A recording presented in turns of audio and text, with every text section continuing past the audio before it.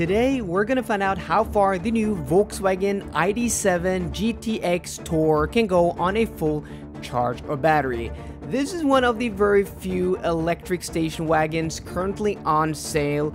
Kind of a dying breed, these big station wagons, and it is a shame because this is one of the best cars, electric cars, EVs I've driven lately. I've already taken it on a long trip and I absolutely love it.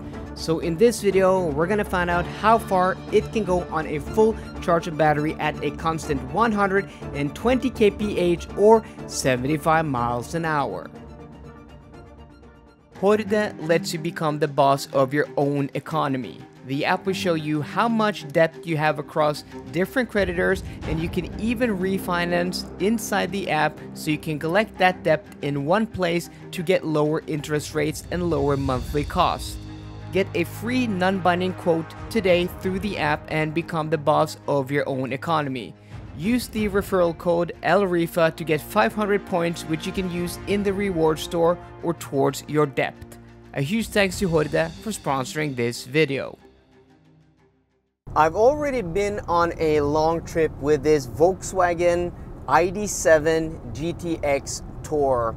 I've been almost all the way to Stockholm and back over the weekend and have to say I'm really impressed by this car. It's quiet, it's comfortable, it's spacious, it has a nice interior, comfortable seats, a great infotainment system and on that trip it also had very good efficiency. But today, the conditions aren't the best. Though about half an hour ago, it was raining and pouring cats and dogs. It has calmed down a little bit now. The road is wet, but it has stopped raining. But how long is that, you know, not rain going to last? Because the forecast says it may rain for the next two hours. But I'm crossing my fingers that it doesn't pour down too much, so the results aren't too extreme. But yeah, this is a very, very, very impressive car and priced like this. This I think is like almost fully spec. It has, you know, the sport interior. It has, you know, the red exterior paint color. We have the Harman Kardon sound system. We have these, you know, ergo comfort seats, which are electrically adjustable. They have heating, they have cooling. I think they also even have massaging. And this also has the panel roof. This car equipped like this is a little more than 600,000 kroners here in Norway. And yeah, that's a lot of money for a Volkswagen. But it, this is a big, this is a large station wagon with a big battery. And compared to a lot of the competition, I think this is very well priced. In, in this price point, at this price point, I think this may be my favorite electric car so far. I mean, it is very, very impressive. But I'm going to talk about more about that in my review later this week. So about after about 20 minutes on the road now heading northward, our average consumption is at around 22.7, 22.8 kilowatt hours per 100 kilometers, which isn't terrible, but we'll see. We'll have to see. I'll update you guys once we get to our halfway point in Moelv in about an hour.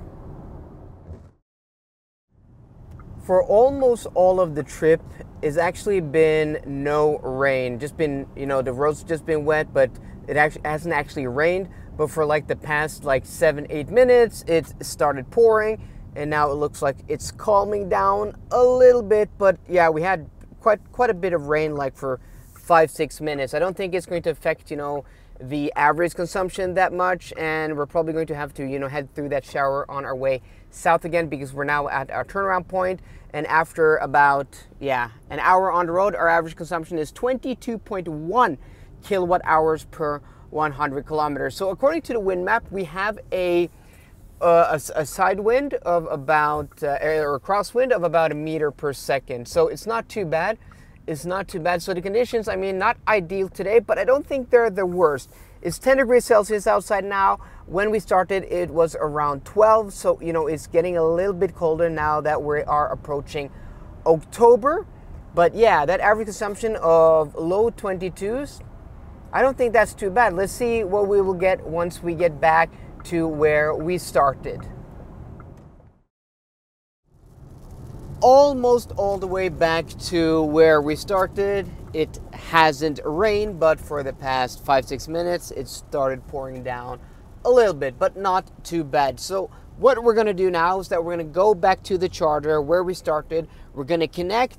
We're gonna see what charging speed we get after two hours driving on a motorway with no preconditioning of the battery. Yes, this car has both manual preconditioning, a really nice interface to see what charging speed you get just connecting to a charger. You can also manually precondition the car, and then the car will tell you what speed you get after X amount of minutes of preconditioning. You can also do it automatically on route using the built-in navigation system. We don't do that in this range test. We do that in my long trip test. This range test is all about getting that maximum range, that maximum efficiency, and that means just driving the car in eco mode and going a constant speed because if we precondition, well, then we're using energy. So we're gonna go over here and it seems to be a little bit full with the chargers and there's a large truck charging also, but I'm pretty sure we're gonna find a charger over here somewhere. I think we're gonna go to this one right here. Okay, so let's stop the timer there and then I'll show you the average consumption we have now after a few hours on the road and we are at 22.6 kilowatt hours per 100 kilometers. Okay, we are now connected, just waiting for the charger to initialize and start the charging. So the charge port is on the passenger side on the rear of this ID7 GTX Tourer and the charge port is manually operated. So while this is booting up, check this out. This large truck here with a trailer, that is pretty cool.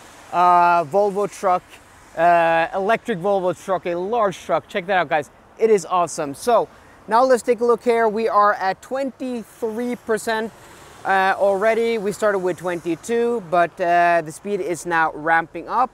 So the peak charging speed of this platform is 185 kilowatts according to Volkswagen, but I've seen numbers as high as 90, 190, 192 kilowatts if I'm not mistaken with the Volkswagen IDs with the ID Buzz, I think. So let's see what charging speed we are gonna get now. Yeah, we're peaking at 155 kilowatts. I don't think that is too bad considering that we haven't preconditioned the battery and the ambient temperature outside of about 10 to 13 degrees Celsius today. Now let's take a look at the results. So if we take the usable battery capacity of this Volkswagen ID7 GTX Tour, which is 86 kilowatt hours, we divide it by the consumption, 22.6 kilowatt hours per 100 kilometers, and then we subtract 3% for heat and discharging losses. That gives us a theoretical range under today's conditions of 369 kilometers. And on the surface, that actually isn't too bad. I mean, it's not great, 369 kilometers of range, but that result isn't bad either. If you compare to the cars we've been testing lately, lately like the Audi Q6 e-tron Quattro and the Polestar 4 long-range single motor, that is a lot less range than those cars and also about the same or higher consumption. But you have to remember two things. First off, today's conditions was worse than both the Polestar 4 and that Audi Q6 e-tron. I'm pretty sure if we had had similar conditions to those cars tested, we would have had consumption maybe as low as that Polestar 4. And then we're talking about really good consumption considering that this car is all-wheel drive. It's also longer and bigger and wider than those cars. It may not be as tall, but it's also not as aerodynamic because it's not, you know, a fastback shape. This being a station wagon, it's actually a worse shape for efficiency and aerodynamics than a fastback. But you also have to consider that this car has a much smaller battery than both that Audi and that Polestar 4 because it is a lot cheaper car. This car, as I said earlier in this video, fully spec like this is a little more than 600,000 kroners, which is the starting price of that base spec rear wheel drive Polestar I drove and also a few hundred thousand kroners or tens of thousands of euros less than that Q6 e-tron. And that's why I think for the money, this is great. 369 kilometers in the real world under these conditions is great. I'm pretty sure if we had dry roads between 15 and 20 degrees Celsius, we would have got, gotten close to 400 kilometers, maybe even crossed that 400 kilometer uh, you know, milestone, which is great considering the price of this car. It's a great car. I really like this car, especially for the price. The comfort, one of the most comfortable and quiet cars I've driven lately. The dampening is impressive with this car. Maybe the best dampened car. This car has, you know, the adaptive uh, dampers, but it's still on, you know, normal steel springs. There's no air suspension here. And for that, it is super, super impressive. So I'm really impressed by this car.